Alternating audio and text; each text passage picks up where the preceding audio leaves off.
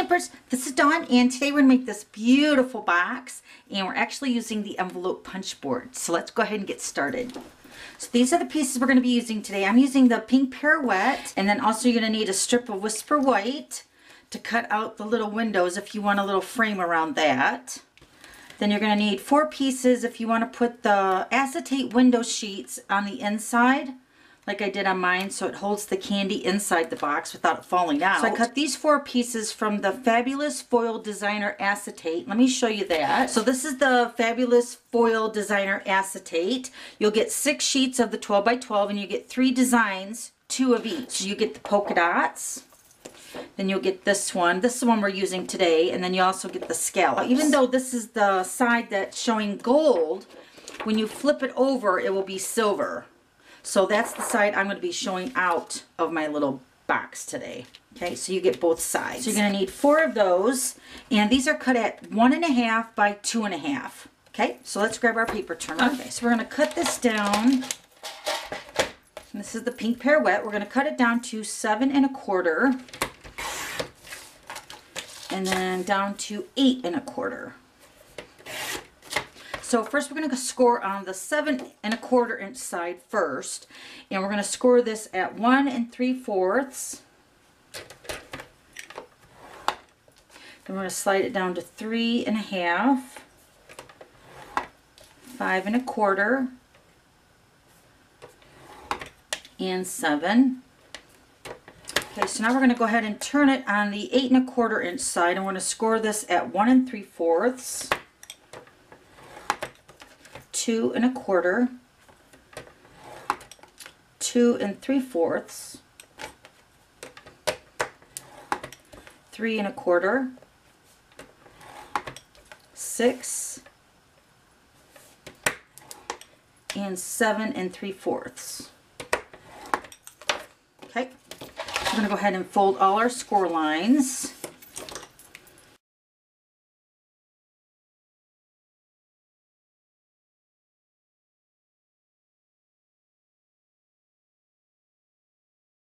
Now down here on these score lines right here, there's four right close together. You're going to count the third one up and you're going to fold this in a valley. And then you're going to fold all the other ones like in a mountain fold. This is just going to make that certain fold stand out when we get to the envelope punch board section.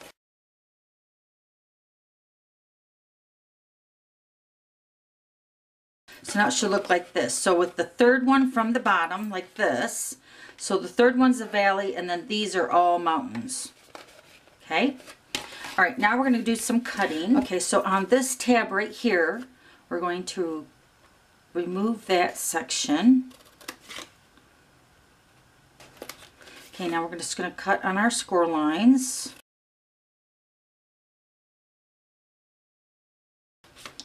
Okay, then we're going to miter cut the tabs as well. We're going to miter cut this one, And then this one, we're going to skip over this one, so you're not going to miter this one right here.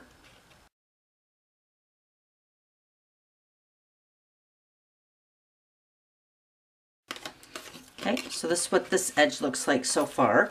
Okay, so now we're going to go ahead and turn it on the other side. Now we're going to remove this tab right here.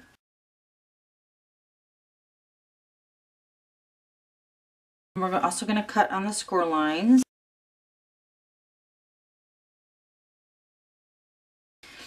Okay, so this is the only one we didn't miter cut on this side, and this side is going to be the bottom of your box. So you're going to keep this tab intact. So then we're also going to miter cut these edges here.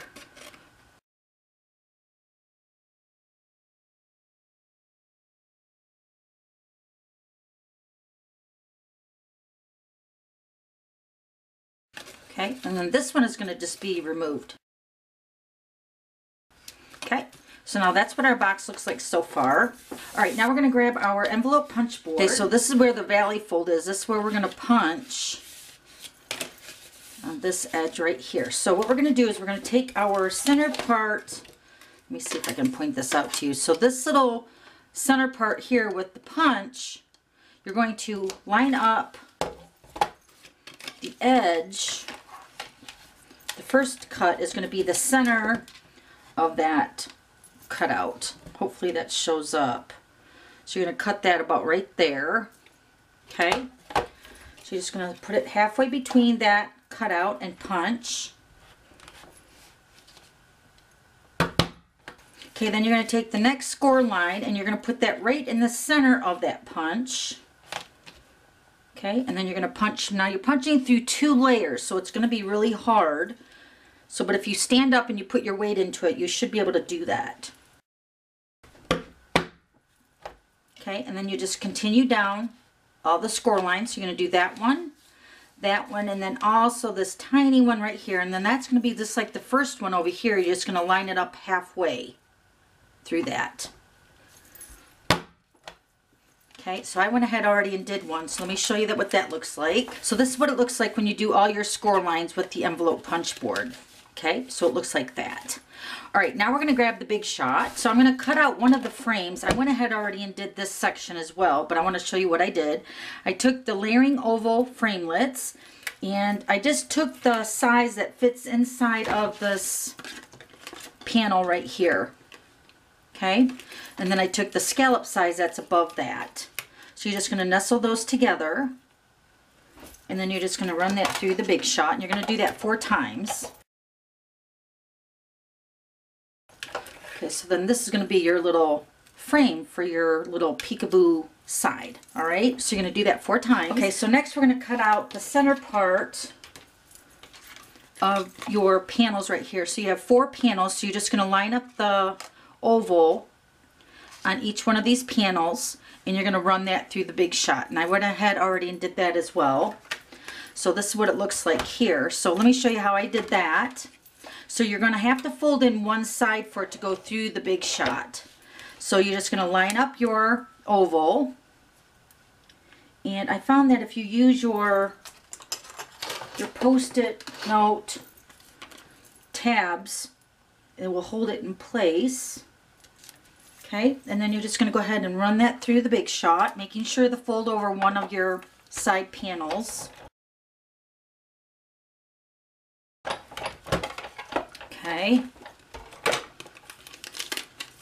So then your oval is cut out. Okay. All right. So let's go ahead and move the big shot. All right, so now we're going to go ahead and decorate the oval part that we just cut out. So for the back side, I'm going to add the snail, and this is where we're going to add that designer acetate window. And of course, whatever side you want showing out, like I want the silver side, but you also have the gold. So I'm going to put the silver side face down. Remember, these are all cut at one and a half by two and a half. Okay, so there's your little window. And of course, you don't have to do this, but I want to put like Hershey Kisses and stuff in my box. So I didn't want them to fall out. All right, then we're going to take our little frame. We're going to take some liquid glue.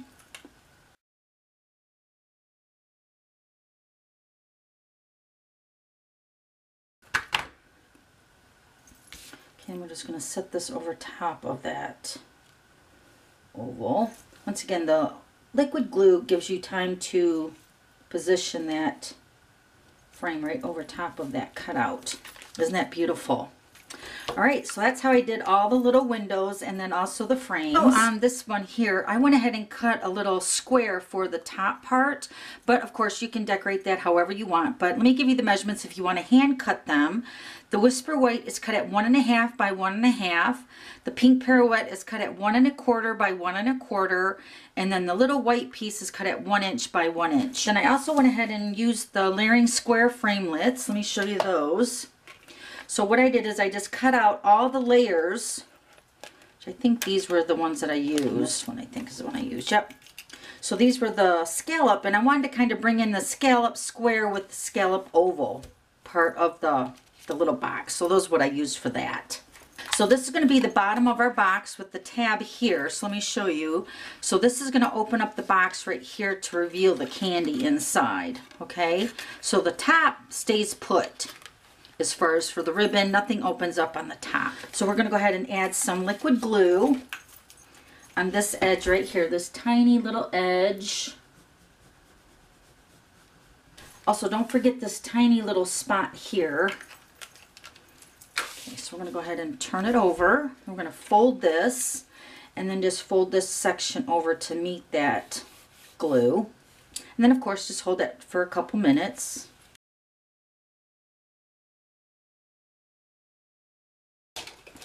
Okay. Just want to make sure that gets adhered really nice together. Put adhesive on this and this one I think. And of course this here.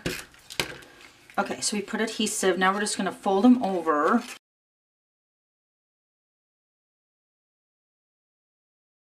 Okay, and then shut the bottom of the box. Okay, and then these fold in. Almost like a collapsing box. Okay, and then we're going to tie some ribbon. Let me grab some of that. I just cut a piece of the 3 8 metallic edge ribbon. This also comes in gold, so if you want to use the gold side, this also comes with the gold metallic edge as well, just like the silver that we're using today. I'm going to use this side, so I'm going to tie the ribbon around.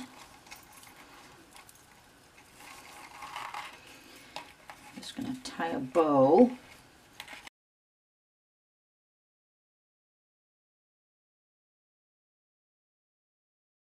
Of course you can fussy with the bow. Just going to go ahead and trim the tails. Okay, and then to decorate the top, we're just going to add these layers together.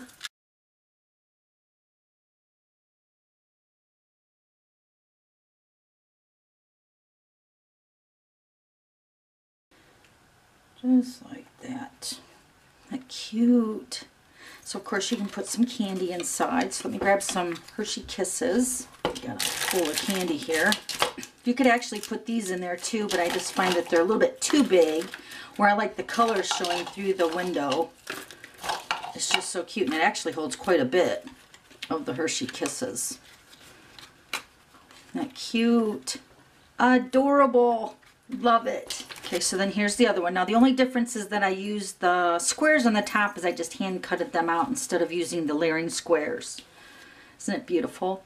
Okay, so that's how you make that cute little box using the envelope punch board. Okay, I'll have all the items listed below and then don't forget to subscribe to my YouTube channel so you don't miss any future videos. Okay, thanks for stopping by we'll see you later. Bye.